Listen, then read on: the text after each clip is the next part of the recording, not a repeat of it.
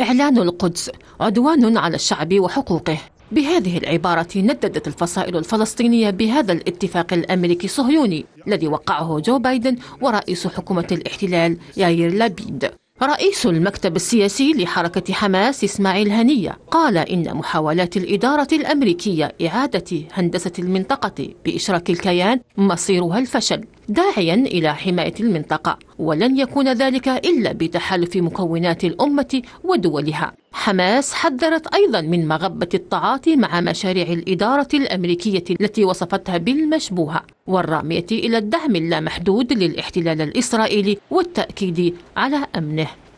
نحذر قيادة المنطقة من التعاطي قيادات المنطقة وأنظمة المنطقة وكل الذين يرجون النصرة من الاحتلال.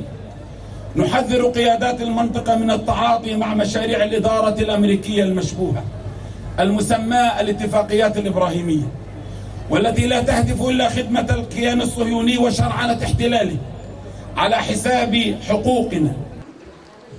الاتفاق الأمريكي الصهيوني الأخير الذي وصف بالاستفزاز يحمل في طياته رسائل مشفرة مفادها القدس عاصمة الكيان وهو الأمر الذي يرفضه الفلسطينيون جملة وتفصيلا.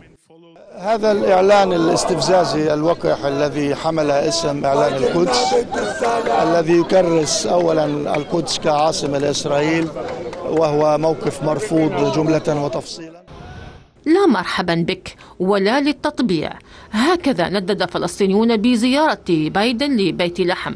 فلسطينيون غاضبون خرجوا إلى الشوارع للتنديد بالسياسة الأمريكية الحالية التي لا تختلف عن سابقتها زيارة بايدن للأراضي الفلسطينية المحتلة. لم تحمل أي خطة تدعم خيار حل الدولتين الذي أعلن عنه خلال هذه الجولة. بدليل تزامن بناء المستوطنات مع هذه الزيارة كانت نتائجها محسومة من قبل لصالح الاحتلال. فالإدارة الأمريكية تبقى دائما تؤمن مصالحها ومصالح الكيان على حساب معاناة الفلسطينيين.